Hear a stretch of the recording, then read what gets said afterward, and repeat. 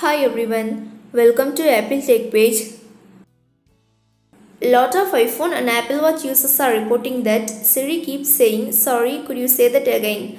In this video, I will show you how to fix this issue. First solution is check your internet connection. Make sure that you have a good internet connection.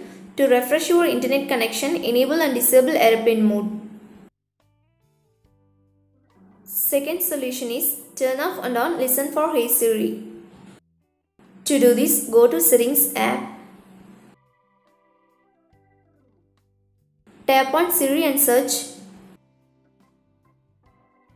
Now turn off listen for Hey Siri. Wait for few seconds and turn it back on. Now you have to set up Siri. Third solution is restart your iPhone. To do this, launch Settings app.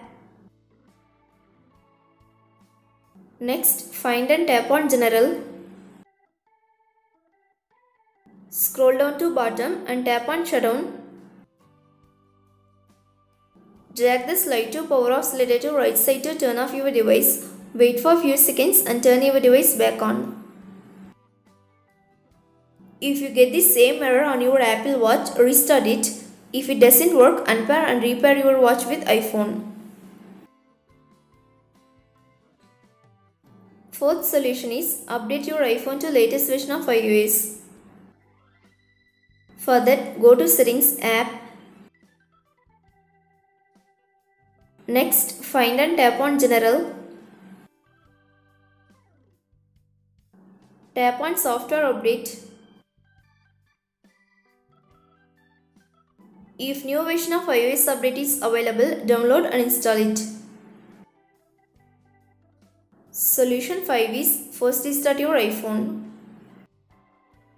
For iPhone 8, 10, 11, 12, 13 and 14 series and iPhone SE second and third generation, do the following steps. Quickly press and release the volume up button. Next, quickly press and release the volume down button. Finally, press and hold the side or power button until you see the Apple logo. For iPhone 7 and 7 Plus, Press and hold the sleep or wake button and volume down button at the same time until the Apple logo appears. Solution 6 is Reset all settings.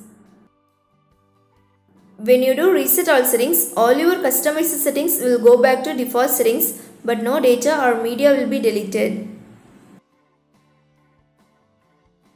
To do this, launch Settings app Next, find and tap on General.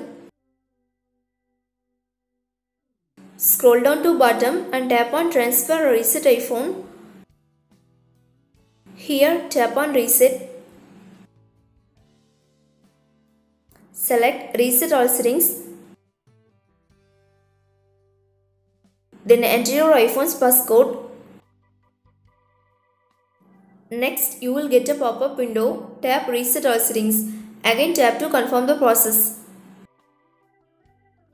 Thanks for watching this video. Do like, share and subscribe to Apple Tech page.